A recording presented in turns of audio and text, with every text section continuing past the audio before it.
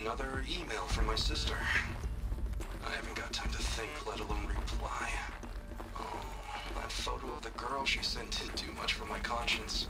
Jenny looks pretty proud of her pilgrim costume. Crap. I've never missed Thanksgiving before.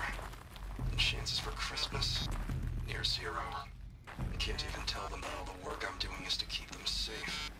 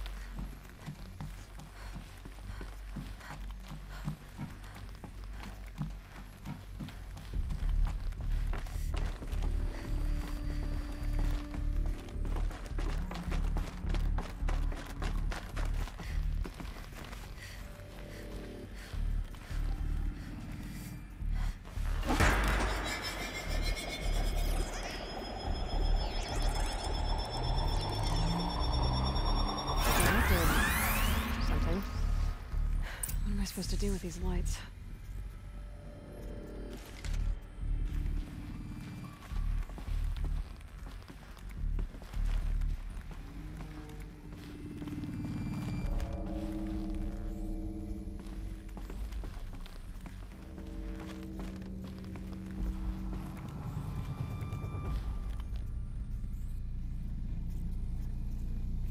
These things turn, changing the flow of light.